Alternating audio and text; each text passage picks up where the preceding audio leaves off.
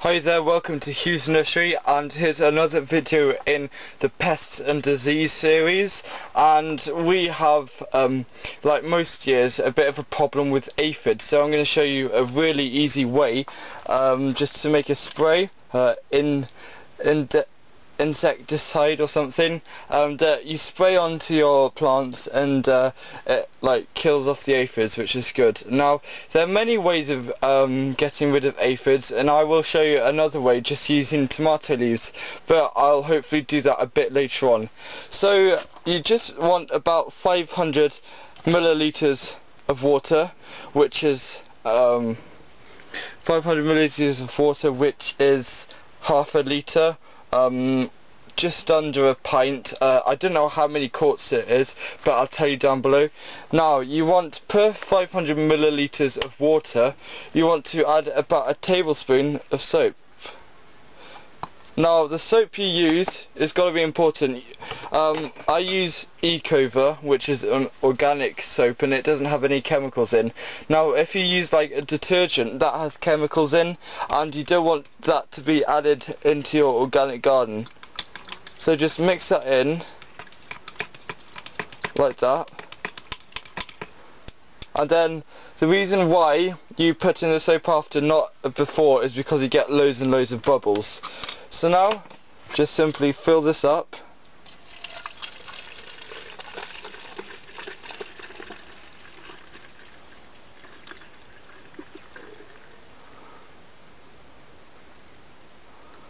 Yeah, there's the bubbles.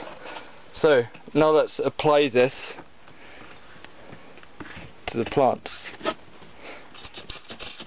So luckily we haven't had too many aphids today, um, or this growing season at all, but this is a tomato plant and aphids love it. Now aphids, they're about um, one tenth of an inch long, uh, fully grown, and ants like to milk them for the sort of milk that they make and uh, use them as a food.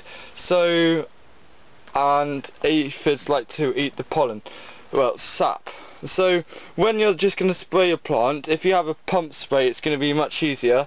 But you want to just go around like this, spraying all the top of the leaves. And don't forget the stem, because remember the stem is the main motorway for these pests. So after you've done that, you then want to go underneath and spray all the underneath of the plants like that and uh, that makes sure that you get both ends of the plant so aphids are not going to get away um, with, with um, uh, eating your plants that quickly. Um, another thing you can do is to get a really strong hose of water and spray it on. Now I do have quite a big problem with that because um, it, it a wastes water and um, I just think that if you use lots of water wasting off to spray aphids, it's a waste of time. Now, if you do use that, um, it'll make all the aphids fall to the floor. And uh, what I would do is uh, paint on a, a, bit of honey uh, at the stem to uh, stop aphids climbing back up. And yeah, so that's the really simple and easy way of how to make uh, spray for aphids and other things don't like it like black fly and white fly for example. So I hope you enjoyed that quick video and I'll see you again very soon with another one.